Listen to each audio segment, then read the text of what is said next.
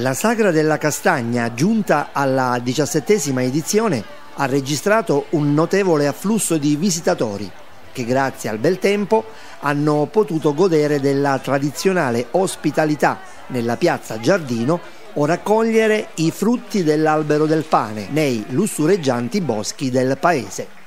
L'evento, nato per valorizzare una risorsa naturale del posto, ha destagionalizzato l'offerta turistica con un appetibile pacchetto inteso a promuovere le bellezze storiche e paesaggistiche del comprensorio Maratea, Valle del Noce, Montesirino. Eh, si rinnova questo appuntamento che per noi è importante, ma non è importante solo per Trecchino, ma per l'intero territorio.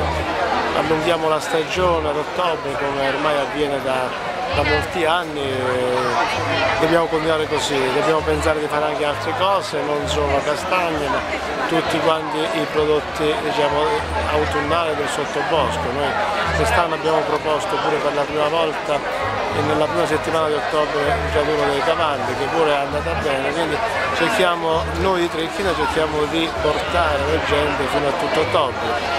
E la cosa importante è che con gli altri cercheremo diciamo, di fare attività turistica pure in inverno e in primavera, così diciamo, cerchiamo di chiudere all'interno del, sistema turistico locale che stiamo costruendo, di fare le cose buone per le nostre popolazioni.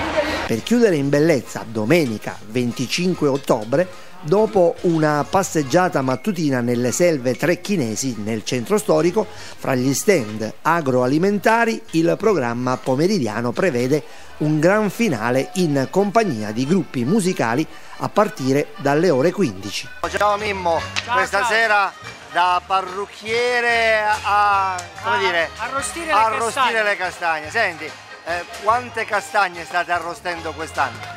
Quest'anno ancora non lo sappiamo perché c'è un'altra domenica ancora, sì. giorno 25, quindi ancora non abbiamo fatto un calcolo preciso. Quindi nemmeno dire a dire sono 20 o 30 quintali, non posso dire niente di tutto questo. E eh, senti, ma rispetto all'anno passato saranno di più o di meno, ecco questo lo possiamo dire. Ma appunto dipende, dipende giustamente anche dal tempo e dall'afflusso della gente. E ringraziamo veramente la Puglia che invade la Basilicato se non che Trecchina. Grazie.